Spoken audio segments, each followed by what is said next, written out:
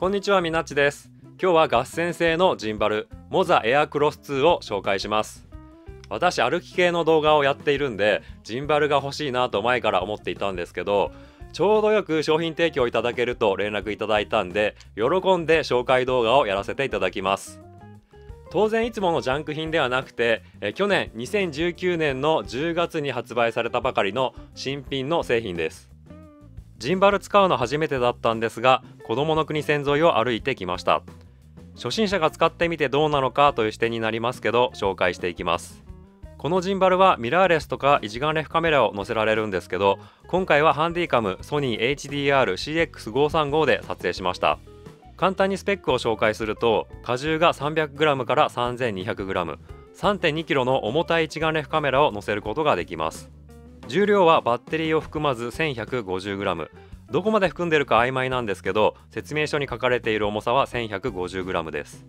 バッテリー容量は 3000mAh 充電時間が1.5時間で稼働時間は12時間稼働できます。USB-C 端子から充電します。Bluetooth 4.0 BLE 対応でスマホアプリから操作することができます。歩くシーンに行く前に一つだけ言葉の説明を入れておきます。三軸のジンバルになっていて上から上下方向のチルト軸真ん中が斜め方向のロール軸で一番下が横方向のパン軸になります。この3つの言葉を今日の動画の中で使っているので覚えておいていただけると分かりやすいです。細かい使い方の解説動画はすでに他でいい動画がありますので私の動画ではモザエアクロス2を使って東急子どもの国線長津田から子どもの国駅まで歩いてきた実際の映像を出しながら機能を見ていきます。子どもの国線は長津田、恩田、子どもの国の3つの駅しかない短い路線です。2両編成の短い電車で運行されています。ビデオカメラ本体の手ブレ補正は3段階のうち真ん中のスタンダードに設定しています。ジンバル撮影の第一印象は全体的に滑らかな映像になった感じがします。チルとロールパンすべてロックしてクレーン撮影しました。この撮影前から一度やってみたかったんですよね。夢が叶いました。手持ち撮影では絶対できない表現なのでこのシーンが撮影できただけでも価値ある製品だと感じました。このローアングルからジンバルを上げていって手を伸ばしてハイアングルまで同じ角度で撮影させることができます。長津田駅を出発したところですがこの横に向きを変えるシーンを見ても手持ち撮影とは滑らかさが全然違います。子どもの国駅まで3.7キロの短い道のりですがエアクロス2の機能を一つ一つ紹介しながら歩いていきます。基本的な操作でジョイスティックを使ってカメラの向きをコントロールすることができます。体とエアクロス2を三脚みたいに固定してジョイスティックだけ動かして電車を追ってみます。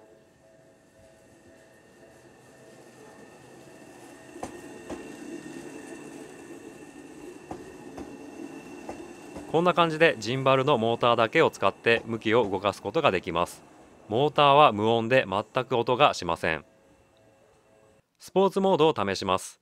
ダイヤルの右ボタンを1回押すとスポーツモードになってパンがクイックに設定されて横方向に素早く反応するようになります。電車撮影ではカメラの設定もジンバルの設定もやっぱりスポーツモードが相性がいいです。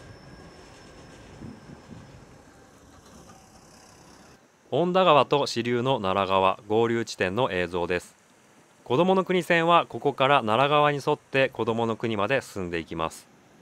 恩田川はこの先で鶴見川に合流します。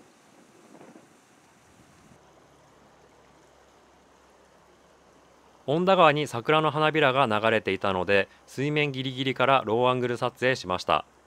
エアクロス2ローアングル撮影も大変やりやすかったです。ここから1キロくらい上流に行くと川の両岸が桜並木になっていてそこから桜の花びらが流れてきています。歩き動画では使い道が難しいんですがインセプションモードということで回転する映像を撮影することができます。画面が回転するので酔わないように気をつけてください。普通の手持ち撮影では絶対にできない撮影方法です。今後何かいい使い道がないか考えていこうと思います。自撮り撮影したい時はトリガーを3回押しすると自撮り方向を向いてくれます。東急長津田工場を子どもの国線が通過していくシーンです。電車が通過した後に自撮りにします。ここは東急の長津田工場です。もうすぐ棚駅に到着します。棚駅と言いましたが恩田駅の言い間違いです。恩田駅に着きました。駅舎を撮影しています。恩田駅に着きました。駅の改札に人がいなかったのでここで3つの軸のうちチルト軸ロール軸をロックした作例を比較します。最初に全部の軸をフリー動く状態で撮影した作例ですチルト軸をロックして上下方向は固定しています。チルトとロールの2軸をロックしてパン軸横移動だけに制限しています。軸のロックを増やすと安定感が増します。画面右側に線路があって恩田駅長津田駅方向を映しています。線路と並行して奈良川が流れています。奈良川の上流方向に進むと子どもの国駅があります。綺麗な菜の花があったのでここで子どもの国線と菜の花を一緒に撮影しようと思って構えていたんですが面白い電車のようなものがやってきました。はしごに車輪がくっついていて電車の設備をチェックしているようです。こんなシーンは初めて見ました。失礼な感想で申し訳ないんですけどなんだか子供が遊んでるみたいで楽しそうに見えてしまいます。お仕事ご苦労様です。この日は牛電車の日でした。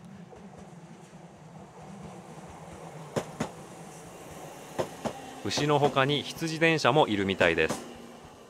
ジンバルといえば手ぶれを抑えるのが一番の目的と言えますから手ぶれ効果を見ていきます。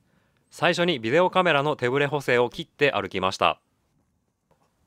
次にビデオカメラ本体の手ぶれ補正スタンダード設定の作例です。これでほぼ手ぶれがないように見えます。ビデオカメラの手ぶれ補正最強のアクティブ設定の作例です。アクティブならさらに安心感が増します。比較のためにエアクロス2を外してビデオカメラの手ブレ補正機能だけで撮影しています。それなりに優秀なんですがエアクロスの威力がいかにすごいかがわかります。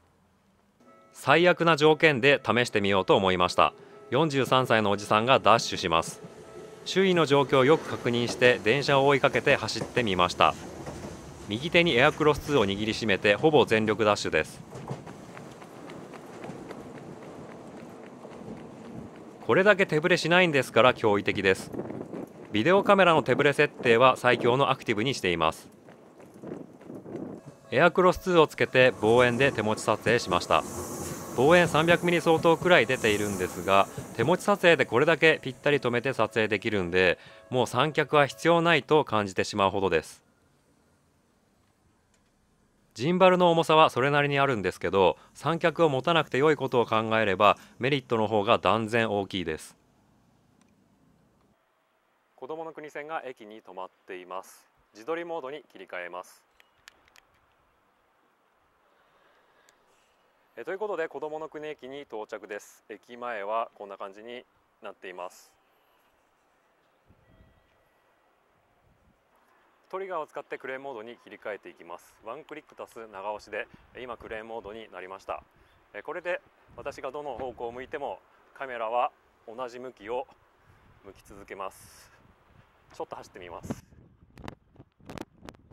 トリガーを離すとえまたカメラが向けた方向に向いてくれるようになります。子供の国今日は臨時閉園になっているようです。ここに広大な駐車場があるんですがえ車が1台も止まっていません。桜は散ってしまいました。帰りの電車の作例で電車の車窓から外を撮影しました。子どもの国がお休みなので子どもの国線は当然ガラガラで空いていました。全面展望を撮影しました。ジンバルをつけるとどんなシーンでもブレを抑えて撮影できるのがすごいです。撮影が上手になったと勘違いしてしまいそうです。電車は間もなく長津田駅に到着するところです。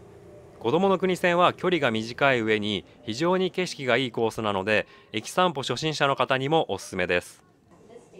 ということで今回はガッセンのモザエアクロス2を使って子どもの国線を歩いてみました。エアクロス2は同じようなジンバルの中では軽量みたいで3.7キロあれこれ撮影しながら歩いてきたんですけど私の場合重さは全く苦にならなくて全然使えました。腕が疲れる以上に良い映像が撮影できることが分かったので今後歩き系動画で積極的に使っていきたいと思います。バッテリーも2時間半くらいの利用で4メモリのうち1メモリ分減っただけでした。今回の動画はジンバル初心者の私がガッセンのモザエアクロス2で撮影してみましたが初心者でも使いこなせるいい製品でした。撮影が2倍以上上手になる魔法のアイテムです。概要欄に Amazon リンクを載せておきますので興味のある方は見てみてください。最後まで見てくれてありがとうございました。今後もカメラ関係の動画を作っていきますのでまた見に来てください。よろしければチャンネル登録もお願いします。